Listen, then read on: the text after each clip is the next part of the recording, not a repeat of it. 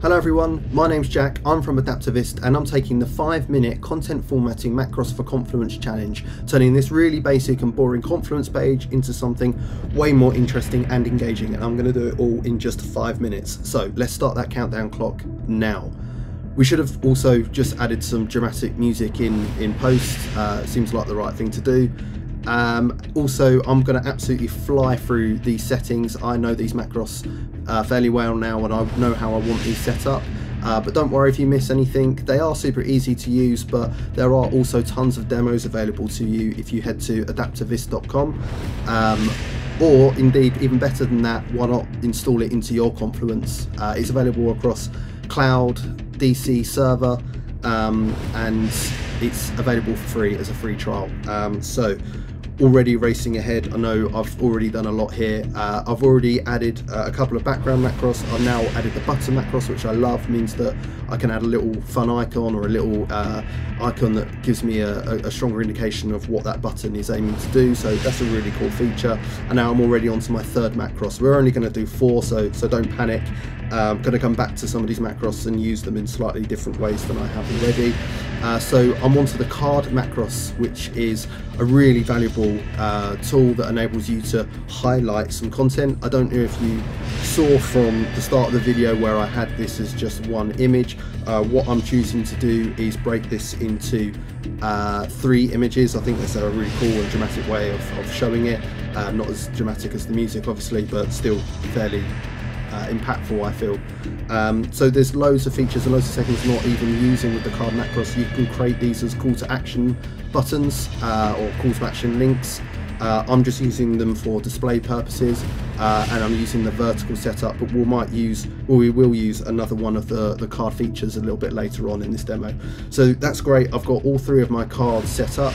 Uh, I'm just going to copy this paste uh, copy this text and, and, drop it into the background macros that I created earlier. Let's do that full width.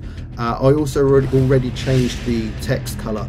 So you'll notice it was a very uh, dark and, and, spacey background that I used uh, and the text probably wouldn't appear on it. Great. But you saw in the little preview window that using the white text I can um, uh, I can change the text color in these tool settings um, and that's automatically going to do it for me you can see here actually on this instance the text doesn't appear great until I've actually reduced the weight of the image and um, displayed the background color uh, more prominently you don't have to use images you can use uh, colors. There's some default colors available, but there is a, uh, a color picker. You can kind of choose any color you really want.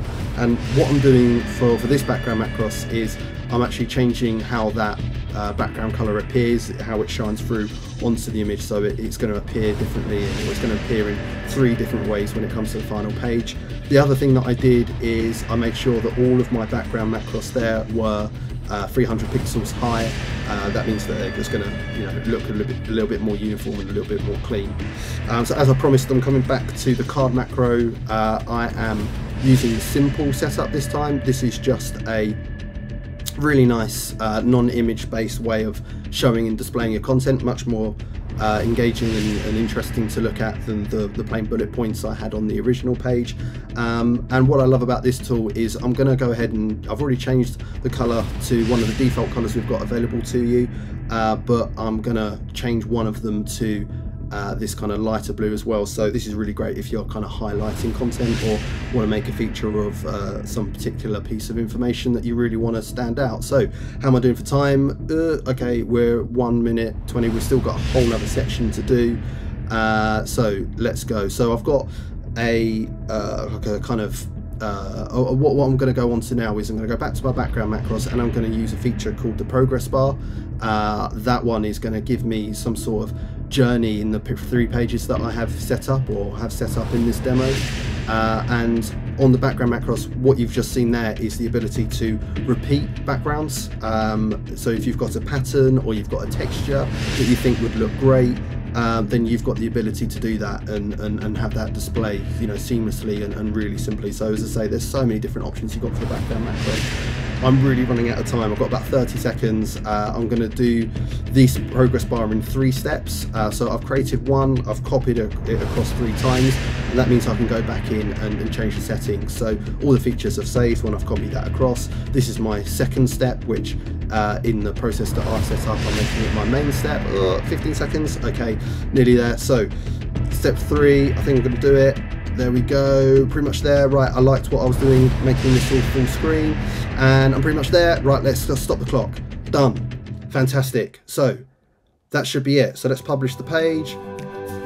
And there we go. So we've got our beautiful backgrounds, we've got our image highlighted, we've got our button, we've got those three background spaces 300 pixels high, we've got a nice highlighted block. Give it a go, give it a try yourself. Good luck.